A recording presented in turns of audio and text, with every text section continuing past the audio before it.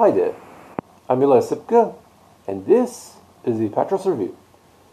Now, this episode will take a look at a really interestingly bad film.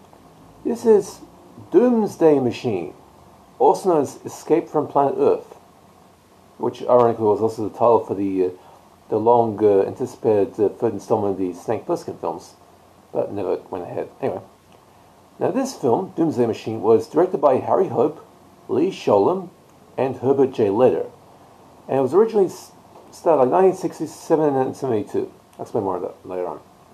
This is public domain, so you can find it anywhere. Now, this was a telepic that was originally worked on all the way back in 1967. But before it could be completed, the production ran out of money and had to be abandoned.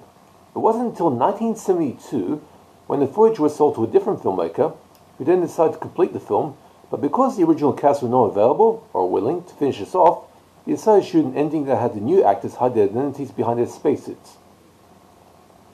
A female Chinese spy working for the CIA infiltrates a CCP-run weapons facility, probably Norinco, and discovers that Chairman Mao has a top-secret doomsday weapon, an, an atomic weapon suspended above a deep shaft that leads to a certain spot in the Earth's mantle that will crack the Earth's crust if activated.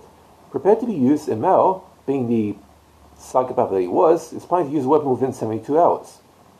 After taking necessary pictures for proof, the spy returns to the States with the alarming news. A day later, the seven man crew of the US mission to Venus stopped from launch, and three of their crew replaced by fem- fem- three female crew members, one of whom is a Russian, the first woman on the moon. I mean, the film's universe. They then blast off, and just in time too, as shortly after the rocket leaves Earth, the CCP deploy a weapon, and Earth is toast. And we're fucked. Not quite. Now being the last of their kind, the seven astronauts must decide what their fate will be as they literally have nowhere to go, only the original trip to Venus being viable. But tensions aboard the ship get sour really fast, as the crew's emotions overwhelm them and jealousy rears its ugly head.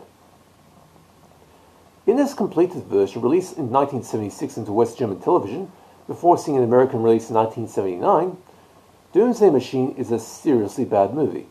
The budget was sufficiently low that the sets look horrendously cheap. The spaceship even has household recliner chairs in the cockpit, for goodness sake. While the optical effects shots of the spaceship are hideously inconsistent, as the stock footage for the ship have been culled from various sources, leading to the ship constantly changing shape. It is pretty funny to watch. the script could have made for a good movie, where the budget high enough and somebody with actual skill was employed to direct the movie, which is why I've chosen to give this film a D, 2 out of 10 instead of the dreaded D minus.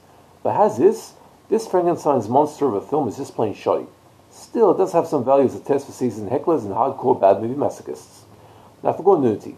No gore, but aside from planet Earth being destroyed, and two of the astronauts being ejected out of the airlock with bloody eyes. But considering this was intended for American television, there's also no nudity. So in some alternate future, Earth is fucked. Anyway. Okay, that's it for that one. Um, I, have never come across any DVDs of this one. I've seen it online. My prints from YouTube.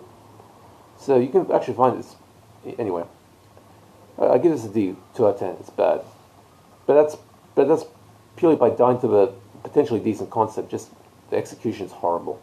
Anyway, so conditional D. The mileage may vary. Okay. Hope you guys enjoyed that. If you have any questions, comments, or associated tribute for this review subject, please leave in the comments and I'll be happy to answer. Hope you guys are staying safe, take easy, and see ya.